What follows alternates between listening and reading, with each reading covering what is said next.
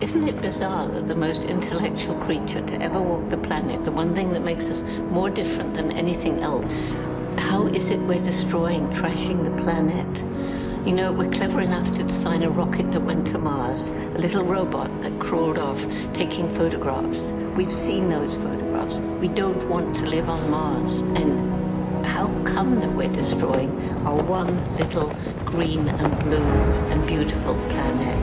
Because we've made a disconnect between the clever brain plunging us into this materialistic world of immediate profit and it's disconnected from love and compassion, the human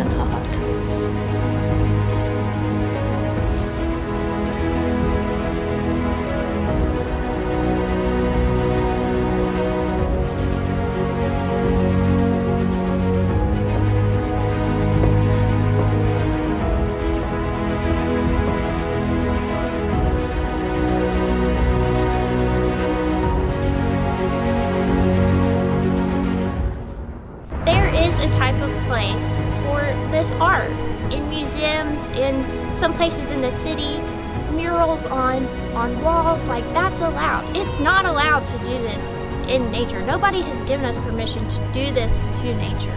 We already have our vibrant reds and greens and yellows when, when we have fall, when you see the leaves on the mountains. If you take anything from this video, just take that nature is absolutely beautiful when untouched and enjoy that beauty.